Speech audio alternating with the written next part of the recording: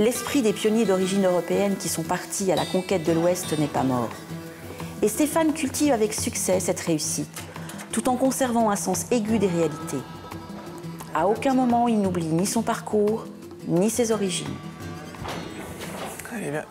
ça, c'est un cheval que j'ai ferré déjà deux ou trois fois. Dès en sortant du box, euh, je regarde les aplomb, que les pieds ont changé depuis la dernière ferrure, ça fait cinq semaines. Donc je regarde comment il marche, j'écoute comment il marche, et je me sers de tous les indices pour essayer d'avoir une ferrure le plus parfaite possible. Celui-là, il marche assez droit.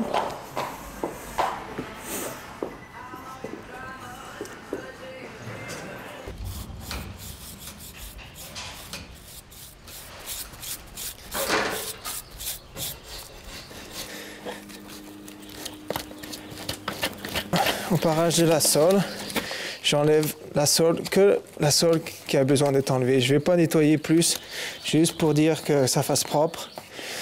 Euh, je garde, j'essaie de garder le, le pied le plus naturel possible. Donc tout ici, les barres, elles veulent partir, donc je les enlève. Mais je ne vais pas enlever plus que ce qu'il y a besoin d'enlever.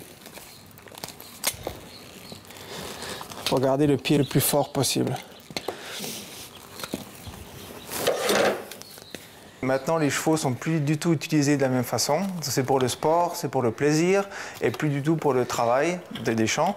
Donc, euh, le besoin des chevaux est totalement différent. Maintenant, on s'occupe d'athlètes ou de chevaux de plaisance.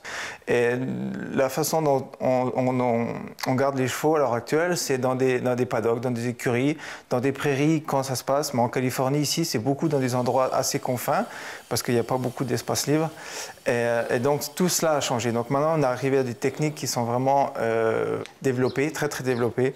Donc le métier de, de, maréchal ferrant est passé de très rudimentaire avec juste euh, le fer poser des fers sur le pied du cheval pour que le cheval aille dans les à maintenant euh, qu'on pourrait, on pourrait comparer aux mécaniciens de Formule 1 ou, ou, un, horloger ou la, la mécanique très très pointue où tout doit être balancé à, merveille et, euh, et, essayer de donner plus de plus confort aux chevaux qui sont devenus athlètes maintenant.